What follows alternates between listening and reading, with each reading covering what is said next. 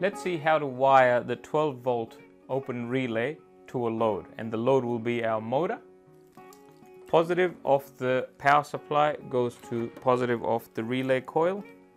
Negative of the power supply goes to negative of the relay coil.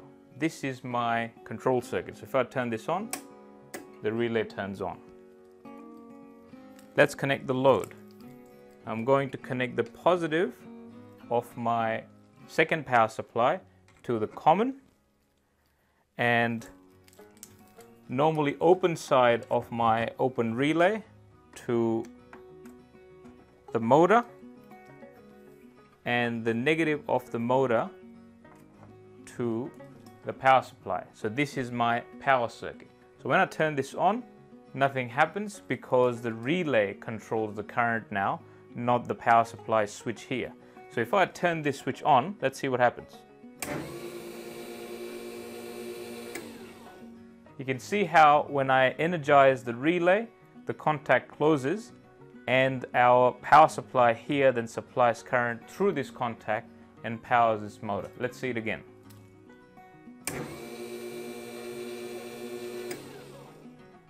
I hope all this made sense. If you found this video useful, please like it. And if you want regular updates of my videos, please subscribe. Thanks for watching.